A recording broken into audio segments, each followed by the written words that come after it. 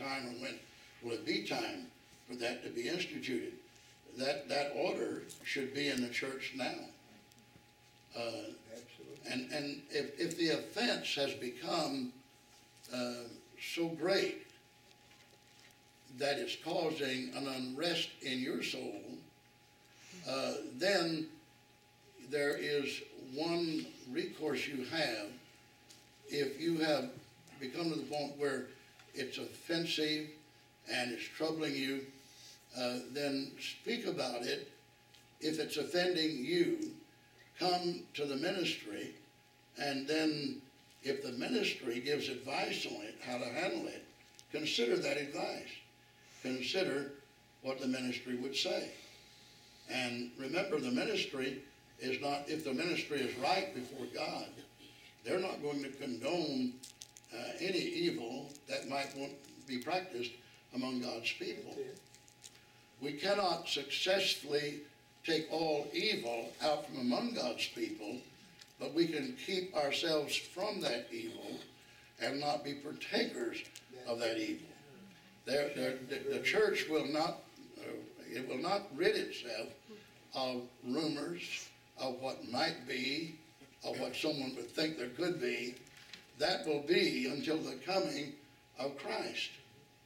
But we can separate and purge uh, any sin that is causing offense, and we know that sin is there.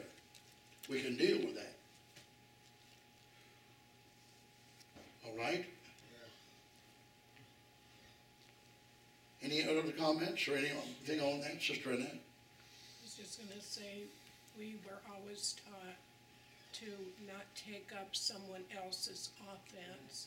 And as you say, realize that the ministry is dealing with it or has dealt with it and whatever they have, you know, judgment or whatever, uh, solution that they have made, just leave it alone. Keep yourself out of everybody else's business and you're a lot better off. And I have.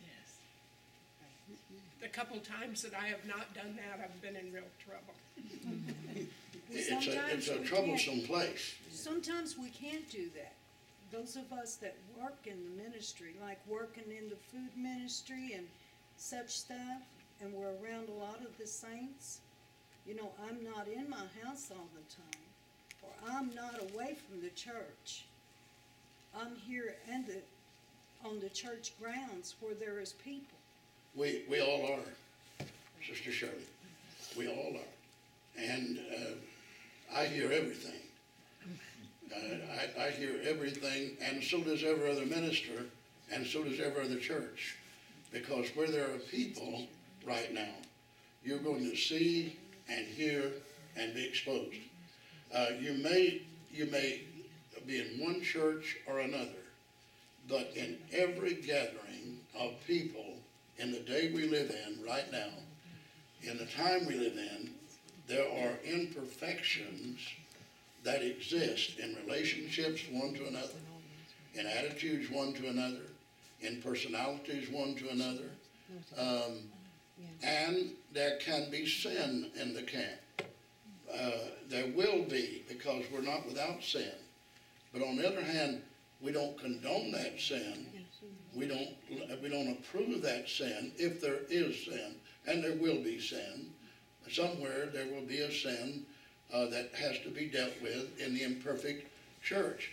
But what we do is we carefully watch and know that we are not going to stumble or let that cause us to lose our zeal, our desire uh, to work for Him, our desire to help others around us that are, are striving as we are, and then relate that, relate that to uh, the apostle or the elder that is over that work, and then hear his advice on it or his counsel, and then have confidence in that advice and that counsel that he knows and sees. Now, if he says, I don't care about knowing anything about what you have to say, that, that's, uh, that's not a shepherd.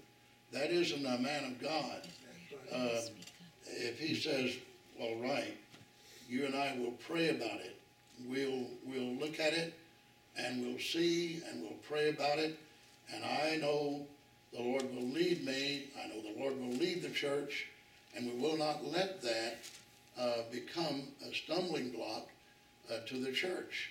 But we will understand the problem and see it, and then the Lord will deal with it, and we will deal with it, because this is a judgment seat of Christ. Paul referred to people that uh, involve themselves in matters that are not pertaining to them as being busybodies.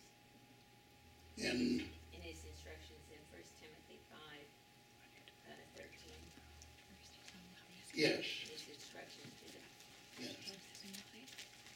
Um, Sister Annette. Sister Annette spoke of that, yes.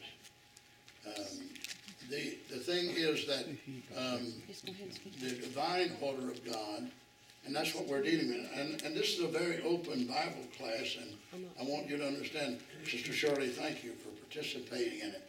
And anyone else, Sister Annette, uh, and here's Brother Steve, hand up, all right? Uh, Brother Marlow, uh, when is it all right for an individual that's not an elder or a sister to correct an elder when he's in his area and is informing somebody properly? I wouldn't do that. That's what I thought. Uh, the scripture said rebuke not an elder. If you're not in that place, I wouldn't rebuke an elder. I would go to an elder that can help me with that problem or that issue. I would find me an elder that would hear and will listen. See, God does not have um, his church without carrying elders. And every elder that wears the office of an elder, he may have the ability to be an elder. But there's a possibility he may not have the spirit to be an elder. He have the, he may have the uh, knowledge, but he may not have the spirit to be an elder. And if an elder, well, you feel an elder needs a rebuke, then find an elder that you can confide in without making that other elder an object of scorn or ridicule, but caring one for another. And let that elder then advise you and then go to that other elder and deal with that elder. Because if he needs a rebuke, there's someone over him in the Lord. I have someone over me in the Lord. I know there are men in the body of Christ that are above me. And I know that somewhere they will talk to me, and I have been checked, and I have been advised, I have been counseled by men that I knew were over me in the Lord. And I respected them because I knew uh, that they were over me in the Lord. Uh, you, if a, if an elder loses his ability to live the life or to be subject to counsel or puts himself above correction, there are elders that can and will correct that elder. And you have the right uh, to um, counsel with them. Uh, that's in a multitude of counselors, their safety. That, that's why that in this assembly, right here, I don't, I don't, I haven't labored to place this el, uh, this church under my sole authority. But I give authority to the elders around me. If Brother May came to me, I consider him an elder. I know the elders of this church. I know who they are. And, and so if he would come to me, I'm speaking this as an example, and he would uh, say to me, uh, Brother Marlow, there's something I want to counsel with you about. I'm going to hear him because I know that this man would not come at me without there's a reason. So I'm subject to counsel. In a multitude of counselors, there's safety. If you find a man that isn't subject to counsel, he's not an elder. No, sir. he's not an elder. If you find a sister that's not subject to counsel. Because sisters are also involved in ministry in the church. We speak of elders. Did you know sisters, there are sisters, they're sons of God that qualify as elders in the church? They don't have that term, elders. There's uh, Phoebe in the 16th chapter of um, Romans, isn't it? It's on here. Or Corinthians, which is that? Um, when Paul wrote and said, uh, you receive her. Let's get that. This is a very good subject, and we need this. We need this. I'm, I don't, I don't draw back from a subject like this because I'm working on order and I'm working on charity. And I want you saints to have that in your life. And I want you to know that Brother Marlow does not draw back from dealing with the worst issue or the best issue concerning the, the, the governing and the blessings of the church. Because I'm in this for life eternal. Aren't you? I'm in this for life eternal. I'm not in this to make a reputation or a name. But well, let's get that on concerning Romans, isn't it? All right, let's, let's look at that to show you what I'm saying, uh, here. See, I did not see this when I started preaching the gospel. I did not see this. I did not see the place of the woman in the church. I did not see the gifts and callings of the woman. I only saw the gifts and callings of a man. I have learned much in my time in the ministry. I recognize sons of God. I don't recognize gender. Gender is not in the scriptures when it comes to gifts and callings of God. We are sons of God. And God gives gifts unto men, but that word men was pertaining to the twelve apostles. That's why he said unto men in Ephesians, the fourth chapter. But he also gives gifts unto women who are sons of God. Yes. And there is no gender when those gifts are given out, whether it be a, a man, male, masculine, or whether it be feminine gender. We are sons of God. I respect you sisters. I respect your calling. I respect the elders, the sons of God, men. So look, look at this. We'll leave this quickly, but it's one, I commend unto you, and the band is coming in, so I'm going, we'll take this subject up next week, by the way. Uh, we, we not finished with it, so we'll come back into it. I commend unto you Phoebe, our sister, which is a servant of the church, which is at Cenchrea, that you receive her in the Lord as becometh saints. Remember, an elder is a saint, called to be a saint. An apostle is a saint, called to be a saint. That term saint is called to be. That you receive her as becometh saints. And that you assist her. Now, he's, he's writing to elders of the church of Rome and telling them to assist this sister Phoebe in whatsoever business she hath need of you. For she hath been a succor, a healer of many, and of myself also. Um, then he goes on and enumerates others. Uh, a succor, a help. And Paul said she's even been a help to me.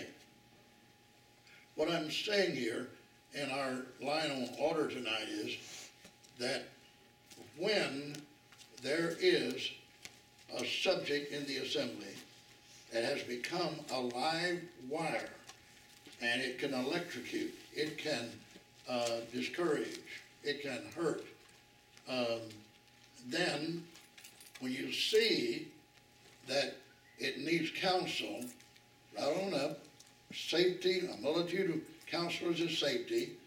And Sister Shirley said, uh, when she counseled with an elder, you did the right thing. Oh, she did. You did the right thing. And that's order, that's divine order. Now, There that, that elder counseled with me.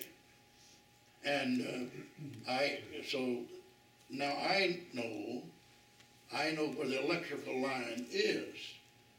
Uh, I'm not going to, as an elder, subject to counsel from the other elders, I'm not going to let that line lie there where it can electrocute. But in a multitude of counselors, there's safety. The order that's in this assembly is good enough that we can, we can institute, um, the, the order that Sister Annette spoke of when there's a transgression that is an offense, then we take it to that person. Then if they don't hear Brother Stewart and myself, if they don't hear us, then we'll gather others. And finally, there will be a proper judgment of that. But don't let that become an electrical line that many, many would be uh, electrocuted by because everyone is not qualified to handle knowledge or subject matter. Um, but you can be and I can be. And we can become a bulwark to keep the assembly so that the assembly is blessed of the Lord. And then we can also, uh, the Apostle Peter, I like this scripture, he said, let him know, or James, isn't it? Is it James? James, Let him know, uh, James five, I think it's twenty or so, let him know, he that converteth a sinner from the error of his way shall save a soul from death and shall hide a multitude of.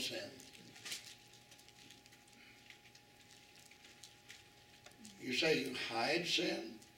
Yes, you hide sin. You don't make it broadcast to everyone and anyone. It's not a breakfast table conversation. It's not a supper time conversation. It's, it's not a conversation on the grounds. Uh, you hide that. Uh, so save a soul, you, you hide it, that is, you cover it by you knowing the order of God that is going to be dealt with and is being dealt with and will be dealt with because there's a proper order there. And I believe in that way, that sinner could be saved, a soul from death, and then they can hide a multitude of sins from the innocent babes and lambs that would be in the church. Peter said it. How does that order sound? Is that all right? Is that biblical? Well, if it isn't biblical, then bring me in oh, something that is. You know, because I'm, I'm open for uh, order. And if that, if this isn't biblical, what I'm teaching here, bring me the biblical order. And let me hear the biblical order. That is. Brother Marlow, Peter said, and above all things have fervent charity. He talked about charity And above all things, have fervent charity. among yourselves. For charity shall cover the multitude of. Pardon me? Philippians four, the two, one and two verses. Philippians four, one and two, all right. I thank God for a body of people that can take a subject like this and discuss it in the love of God and, uh, and just grow in grace and be uh, lifted up. And when we leave here tonight, uh, feel like we've grown up in the Lord. We've grown in grace because this is some of the teachings that built and brought together the body of Christ. And it separates us from the church world. It separates us from the world of judgment.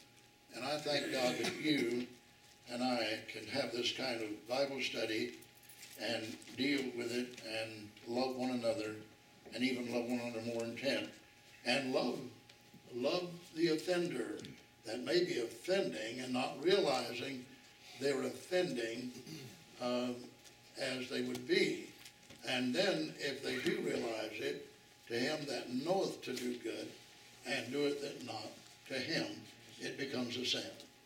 It is a sin. Uh, Sister Jenny? Well, Brother Marlow, I wonder if maybe I do it wrong.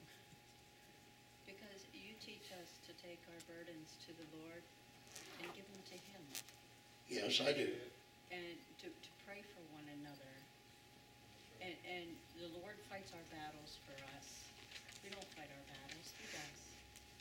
And if we give them to the Lord or we lay them on the altar, then we're to forget it, let it go, He's already got it handled. In His time and in His way, correct? He will judge to the uttermost. Right. He will judge to the last farthing. Um, he- But he- then, Brother Marlow, Yes, Sister Shirley. you know, but, but then that discounts everything you have just said, you know, about bringing the problems to the. No, I was talking, no, it doesn't. I was talking about order, Sister Shirley. Now, uh, Jenny said, take it to the Lord and leave it there. That's you individually, you're laying your burdens on the Lord. But then you still have You still have, you, biblical order, right? And so you have that right, she has that right, you have that right to go and counsel with ministry because there's safety in ministry. See? Uh, both those things works.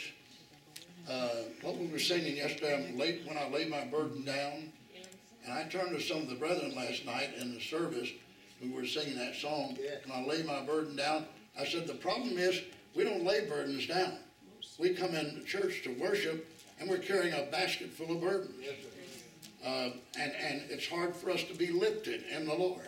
It's hard for us to be lifted up in the Spirit, because we're carrying the burden of baskets. Take your burden to the Lord and leave it there, but also, now let's bring in the point Shirley made there. Also, then take that and go to the council. For in a multitude of counselors, there is safety. But go to the council. Don't carry the burden around and, and everybody and anybody that wants to talk about it or wants to say something about it, don't, just don't, just break it off.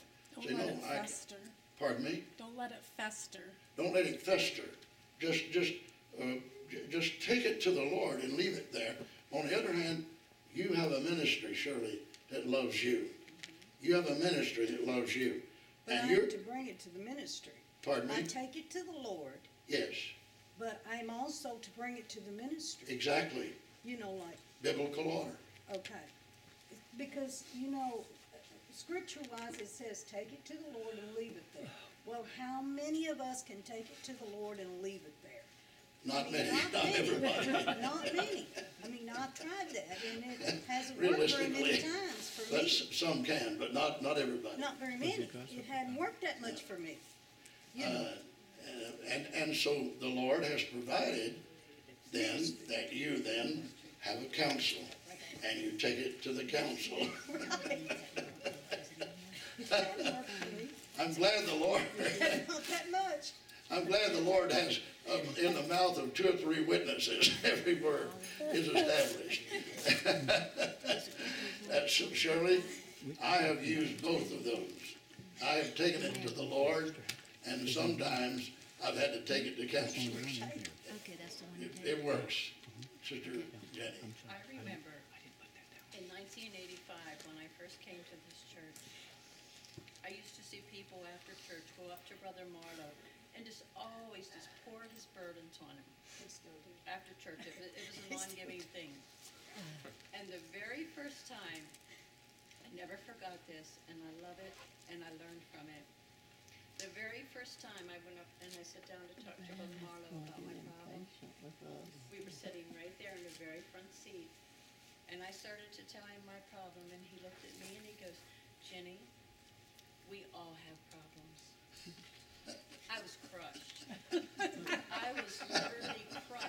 I've told you the truth. I watched all these people go to him and tell him these things. And that's what he told me, is we all have problems. And, and I took that home with me, and I, I do, a touched on that for a couple of days. And then it dawned on me, and then it dawned on me what he was doing to me. He wanted me to hmm. know same place he was gonna take my problem, Yes, to the Lord, and the same place he takes his to problem. the Lord. You take him to the Lord. And I learned that from you in eighty-five, and I never forgot it. Thank God you, you got that, Jenny. That's why I say, I, to I now? take him to the Lord. No, I don't. No, I don't. I take him to the Lord and I leave him there. You got that. You got that. You taught me that. And she leaves them there. You know, I got something humorous to say at the end of this, because we've had a, one of our heaviest sessions we've had. But it's been good. And we, and we, we, these sessions we need, uh, and as we go next week and uh, to a subject dealing with doctrine, because that's where Brother Sowders also dealt with doctrine. And I want to take the subject, uh, uh, one of his subjects on the four major doctrines and deal with it as William Sowders dealt with it. So this session's been good because it'll prepare us for the next one. But, uh, of something humorous. Now, at eighty, after all these years of listening to the needs of the church, if you're not careful, I may go to sleep while you're talking to me.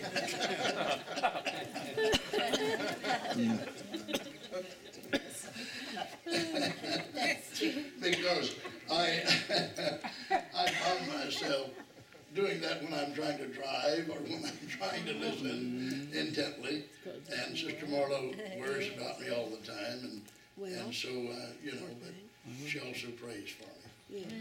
But, you know, God has a way of, uh, however it is, when we're young and vigorous, we want to handle the world, get older, while the sleep and the rest comes, and we just get very restful, very peaceful. Sister Jenny, You know, I want to tell you, thank you for that.